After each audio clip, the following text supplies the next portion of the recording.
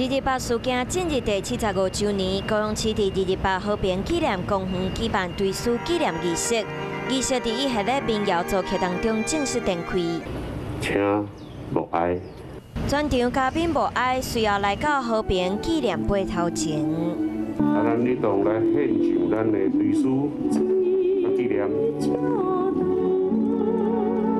献上上镇和平的百合花，嘛表达对受难者的追思。二八事件当中，高雄市头一个红布立顶也未城市。随着民主的发展，嘛有更加侪人意识到人权的重要性。最近俄罗斯国出兵拍乌克兰，让人民感受到威胁。高雄市长陈其迈嘛真有感觉。高雄灯会啊，也以蓝黄光来表达我们对于乌克兰人民的一个支持。那我相信，啊，在今天的。